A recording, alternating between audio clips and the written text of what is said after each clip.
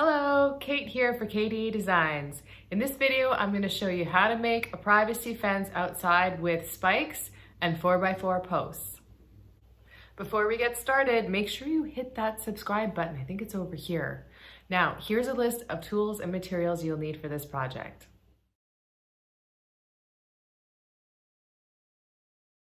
This is the before. Okay, so that's the old privacy fence with just the lattice. I'll give you another shot on the other side. So they've kind of framed in the lattice with these posts here. I'm gonna have a fun time demolishing this. I started off by demolishing the old fence. I took down the framing around the lattice and then took down the lattice. And then with the four by four posts, I cut those about a foot off the ground just so that I could use them to remove the old spikes from the ground.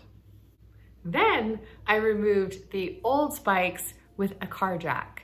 If you wanna see a two minute video on how I did that, I'm gonna put the link right up here or here.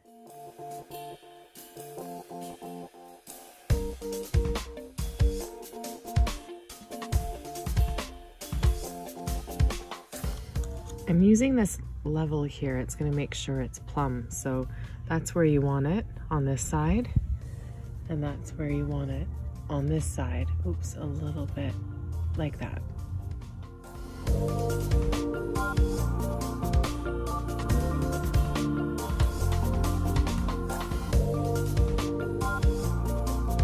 I put a piece of an old post in here so I can use it to bang it into the uh, ground. In the last spike here and I started about two inches in because I want the um, boards to meet in the center of the post.